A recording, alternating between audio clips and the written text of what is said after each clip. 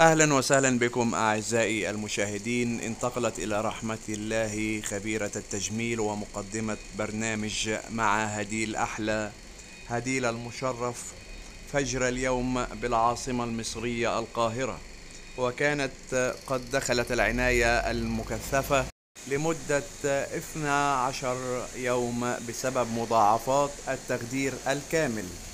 الذي تسبب لها بجلطة في الرئة. خطأ طبي يؤدي إلى وفاة خبيرة التجميل هديل المشرف.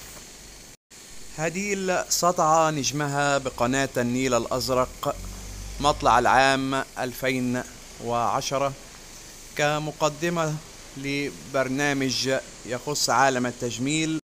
الله يرحمها ويجعل مثواها الجنة. ادعوا لها بالرحمة والمغفرة في التعليقات. إنا لله وإنا إليه راجعون.